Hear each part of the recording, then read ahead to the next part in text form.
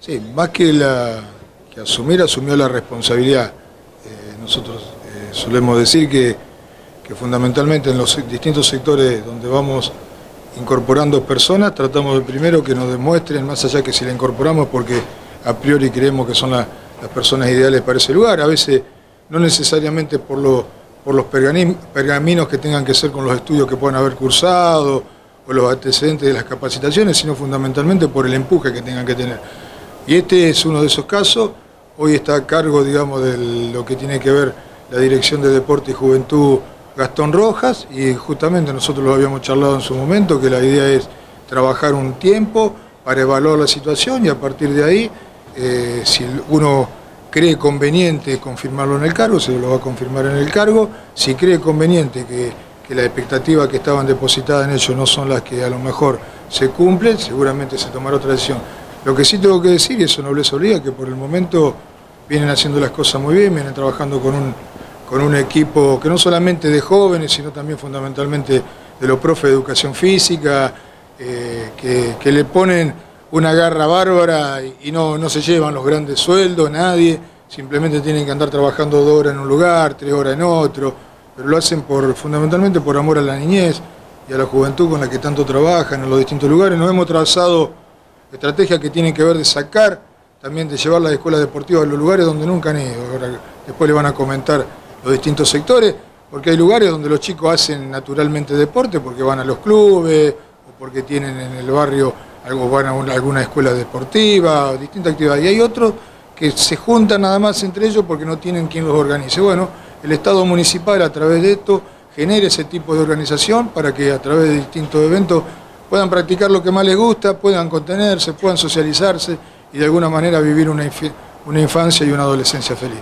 Bien, Gastón, bueno, este primer desafío, ya está proyectado lo que será el trabajo a lo largo de este primer tramo del 2018. Sí, sí, buenas tardes eh, a todos. Bueno, primero que nada quiero agradecer al intendente por, por la confianza que me ha brindado, sabiendo que uno viene trabajando desde hace mucho en el área y, bueno, y ahora puede demostrar de otra manera lo que, lo que quiere generar por ahí en el, en el deporte en la ciudad.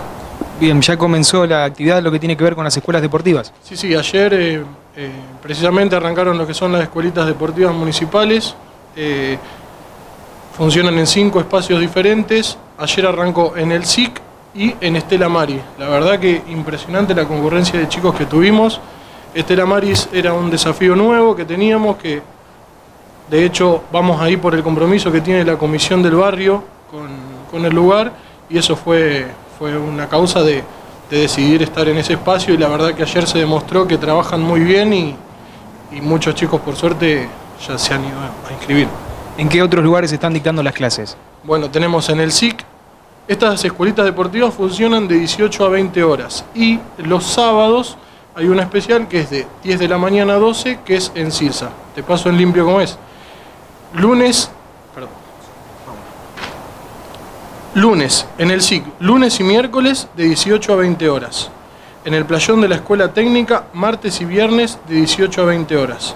Barrio Estela Maris, lunes y miércoles de, eh, lunes y miércoles de 18 a 20 horas. Predio Silsa, sábado de 10 a 12. Y Club Luzuriaga, también que agradecemos al Club Luzuriaga por, por brindarnos ese espacio como para poder llevarla a cabo, de 18 a 20 horas. Bien, ¿qué tal ha sido la respuesta por parte de los chicos que asisten a las clases? No, la verdad que como te decía anteriormente, muy conforme eh, por, la demanda que tuvimos, sabiendo que esta semana es solo de inscripción y ya la semana que viene, cuando estén asegurados y tengan todas las cuestiones en regla, van a poder empezar a hacer las distintas disciplinas deportivas. Bien, así que una, buena convocatoria en lo que ha sido estos, primeros días de, arranque. Sí, la verdad que muy conforme y muy buena convocatoria. ¿Qué podemos precisar sobre el equipo de trabajo, quienes están desempeñando tareas en, los distintos puntos de, la ciudad?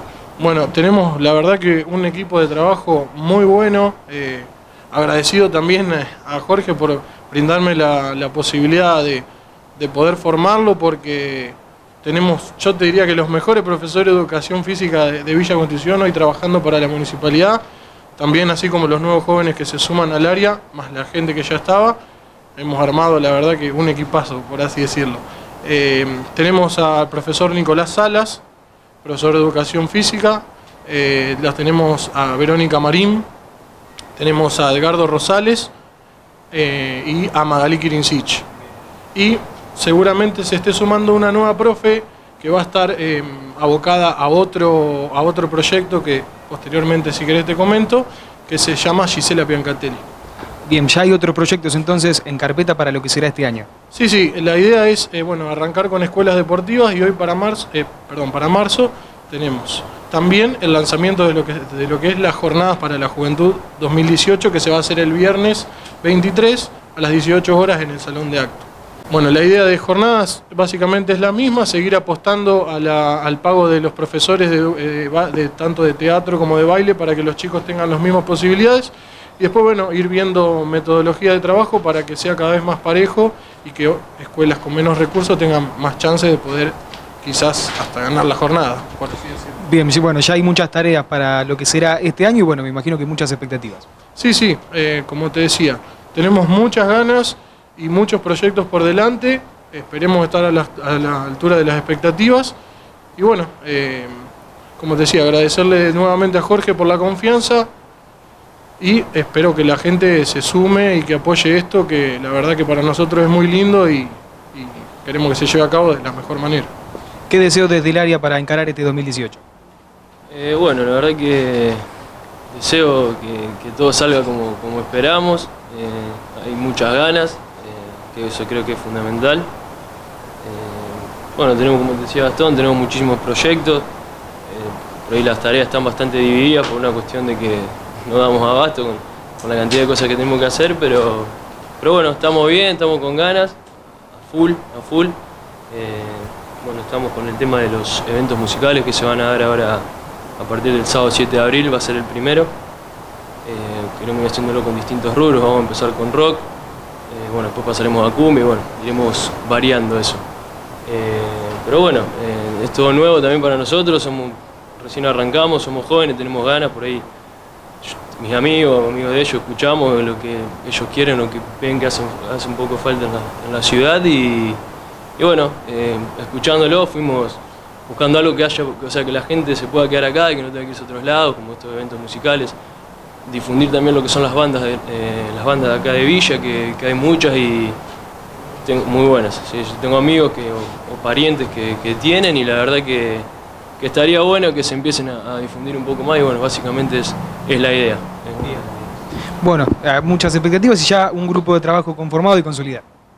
Sí, la, verdad que sí, eh, esto para mí también es, es nuevo, pero es como dijo mi compañero, estamos con muchas ganas y afrontar lo que, todo lo que se, nos propongamos para, para llevar esto adelante.